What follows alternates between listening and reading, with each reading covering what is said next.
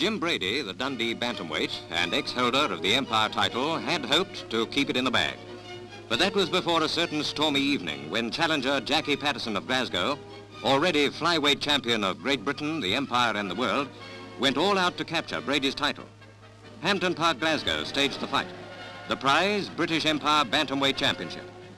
Brady in light pants and Paterson the Southpaw in dark pants kept 35,000 enthusiasts happy. One of the biggest crowds in Scottish ring history.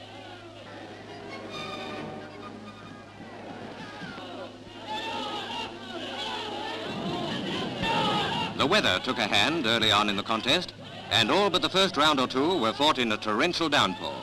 A high wind lashed round the fighters, and most of the time the ring was as slippery as a fishmonger's slab. The fight wasn't a classic of boxing skill, but what could you expect with thunder and lightning carrying on a fight of their own?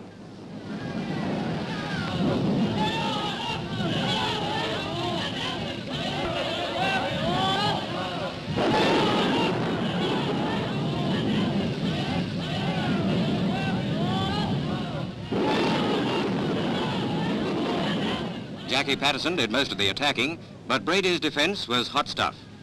Towards the end, Paterson staged a one-man blitzkrieg. At the start of the 15th and last round, experts put Paterson slightly ahead on points. Then he started in with a grandstand, barnstorming finish that more than gave the crowd its money's worth.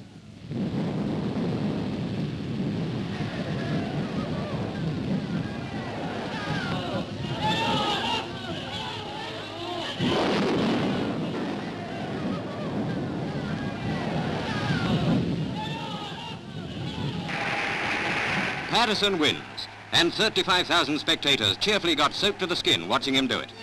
A grand fighter looking for fresh fields to conquer is Britain's four-star champion.